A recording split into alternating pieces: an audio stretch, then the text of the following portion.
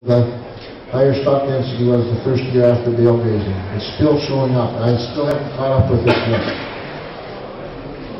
Okay?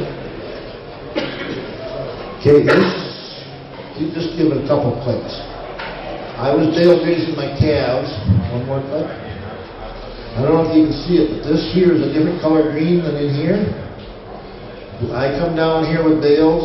I was setting them out with a tractor every day because there's only a few calves every few days. And then I went, we got a snowstorm, I went back up here and I thought I was starting in line coming down here. Well, I got over here and came down.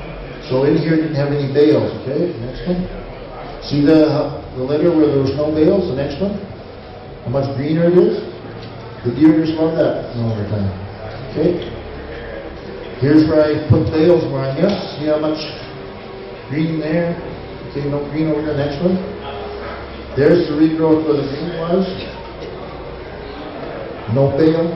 See, less seeds, not as deep a green. Okay. See the one put in here, is my grandkids. One's in where the bale was, the other is isn't. Okay. Here's where the bale was. See the litter on top. Next one. See how the ground is covered? You can see the little plants right there. The little ones are just germinating this first thing in the spring. And the ground cover. Okay.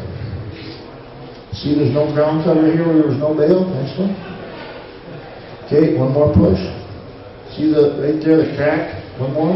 The crack right there.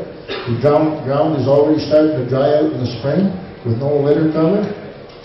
Okay. Now, deep massage uh, something I'm doing.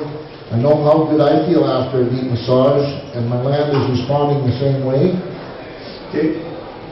This is what I do as I, uh, one, this paddock here, I only eat it once a year before, and I stockpile all the grass, and it'll be a couple feet tall.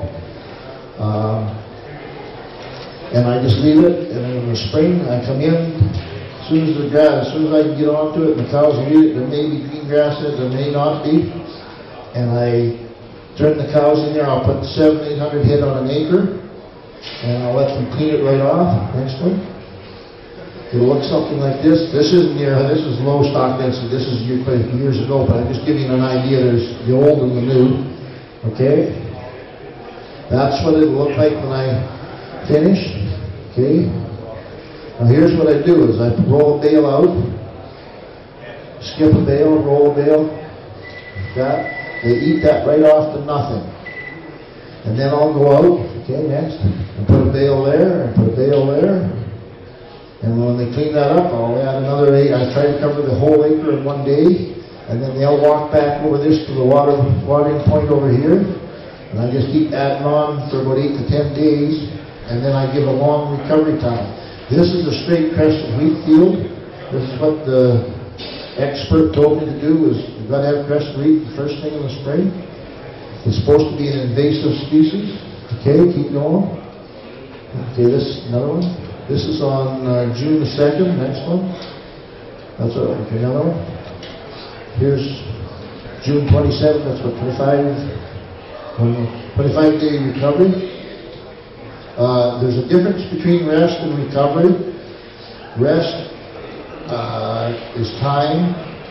Say you break your arm and you're sick for 25 days, you got lost uh, to re- rest, but you don't have enough recovery time. You got to have time for the good growing days, like up home. If it doesn't rain, we got no recovery time. So you got to have rains to get your recovery of your, your putting your root system down. Okay. This is a straight crested wheat field that was going backwards on me. There's a lot of pussy toe. Do you have pussy toe down here? It's a little plant that barely gets off the ground. Nothing eats it. It's just ground cover is all it is, and the weeds. This is my straight crested wheat field. Okay, just keep pushing. This is where I done the deep massage. One more. August 24th. 123 day recovery because I ate it off so short that shut everything down for a long time. I had to give it a longer recovery period. Okay. I got 111 ADAs on that. Okay. This is two years later. In two years, I had over, on a straight crested wheat field, I had forty plus species of different vegetation of the cattle eat. Okay, and I had hundred and twenty-three eighty-eights. Okay, this is what happened. You know what? Keep going, keep going until the red line comes. Okay, this side here, I get the high stock density.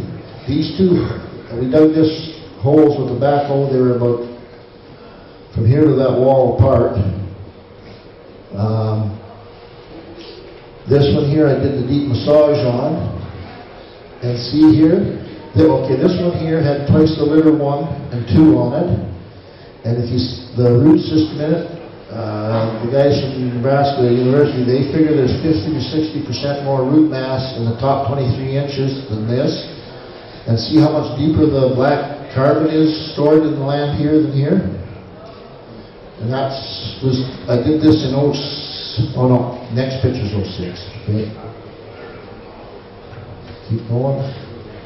Okay, this, see the, the, this is where the high stock density was, but this is where the deep massage was. See, it all looks like cottage cheese, it's little lumps, and the, uh, the, gourmet- it's got a lot of glomalin, I think you call it. Yes? Deep massage is where I eat, stockpile the grass, eat it right off to nothing, and then I roll my bales out and do the real high stock density on it, and then roll more bales out. That's the deep massage. What time of year do you do it? What time of year? I do this first thing in the spring.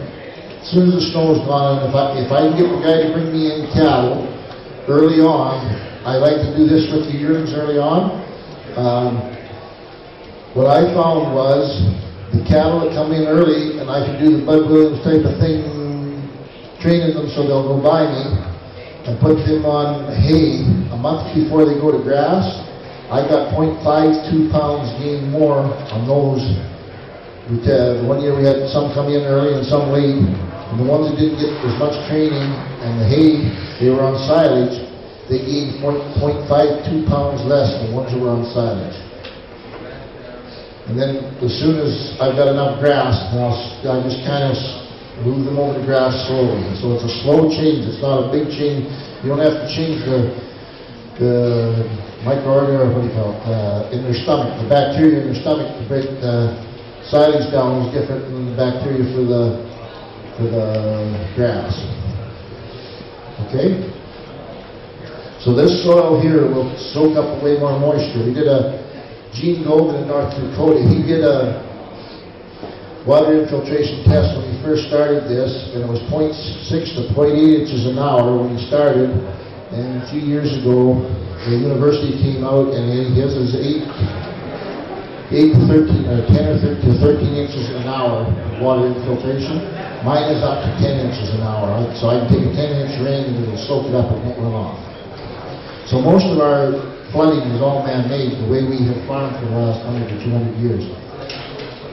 The Gene this year, they had a, a big rainfall, the neighbors had run, water running all over. He didn't have any water running, he went back a few days later and his little gullies were running, running fresh water down the gullies. It went into the soil, went through the soil, and was coming out, and it was all clean. Okay? Next one. Okay, yeah, this is Dwayne Beck stuff. One and a half to two percent organic matter in your land, you can hold thirty-five to forty-five pounds of water. Next one. Four to five percent is uh, sixty-five to ninety-five, no, sorry, hundred and sixty-five. It's kicking in. 195 pounds of water. And most of my soil, the last time I did it was uh, five to seven organic matter. Okay. Now, this is, uh, yes? So when you did you test it? I didn't test it when I started, but it's getting better, so I don't know what it was. Um, Now, this will happen to you now. I, I used to use a lot of permanent fence. I've changed my mind on that.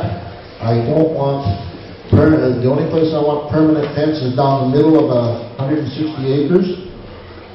I, and then I'll run, I would run my uh, all these learning experiences of all these different ways of putting our water lines in, a lot of these risers I'm not going to be using anymore because I'm making the cows work, walk, and then I can watch them walk a quarter of a mile to water, or a half a mile, and they start kicking and bucking. I know they're feeling good. If not, I gotta keep changing. I can monitor them, or if I walk them down these lane alleyways, and I, the ones that are gonna be sicker are going to be in the last ten or fifteen percent of the ones that walk out of the paddock, so you just peel them off and check them better than the rest. Uh, I make my alleys twenty-eight feet wider. Uh, in our area, all we had was Gallagher before, PowerFlex is just coming in now. But they had a bungee cord that went, would ex- go to thirty feet wide, it was already made up. And if you drove over it with the quad, I'll show you what I got, but if you drove over it, you'd bust it.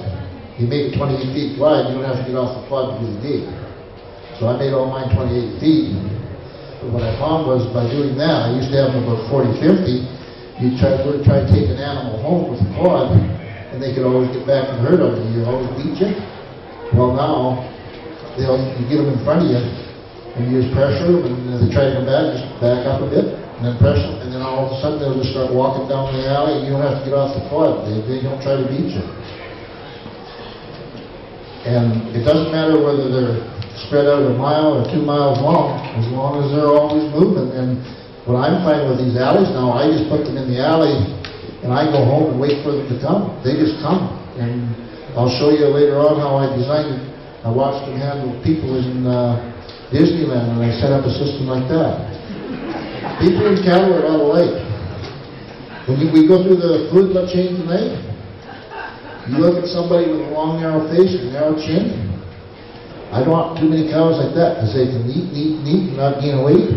You look at me when I go through, I got a square jaw and a little short head. I put weight on going go through the salad bar. And that's the same way with cattle. You, you watch Kit's stuff tomorrow, those cattle he's got are the same thing as me, and he's got a little round gun on them. Easy keepers. Okay, so here's what happened here. Underneath where I can't get the animal impact, this is the first place my weeds come in. There's absinthe and pussy toe and all your weeds come under there. Okay, the next picture. This is a picture of Terry Golf took took to my place last year, or this summer, I guess it was. Up here is where the fence was, and out here's where I had the animal impact. See how the carbon is deeper out here underneath where there's no animal impact? Next one. I've got so much time on my hands, I'm lucky I didn't start this when I was 25 years old, because I'd have 10 or 15 kids, or I might be on my second or third wife, because I spend so much time in the house. Like this. Okay. This is what we did when Terry was up a couple of years ago. We were showing them what a million pounds of beef, oh, I'm sorry, uh, 600,000 something. Just keep clicking. Okay, that was grazed a day later. Now, my son, the tour was at my place on the 24th, and it was at uh, Gene Goldman's on the 25th at Turtle Lake, North Dakota. My son was home, and he was supposed to move them the same way I do. Well, good intentions, but the neighbor boy phone wanted to go golfing, so instead of one acre, he gave them four. Well, it made him a good experiment for me, okay? Here's where the four was, and we, the day before, we had checked where the, uh, the sugar content, and the sugar content right then, the brome was higher sugar content than what the alfalfa was. It was just coming into flower, and we took the top part of the plant, and they were higher sugar content than the alfalfa. Okay, now you can see here, yeah, this is 121,000 pounds of beef per acre. And see all the stalks here? There's one seed head left there, but they stripped all the seed heads, and all that brown is the stalks from the, the brome grass that they didn't want to eat. They ate all the alfalfa and the seed heads.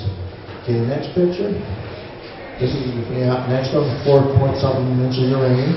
And this is on the other side. And this is 606, keep going. 606, 800 pounds of beef per acre. See how much greener it is here than here? recovery. Now, I don't know if this means anything, but this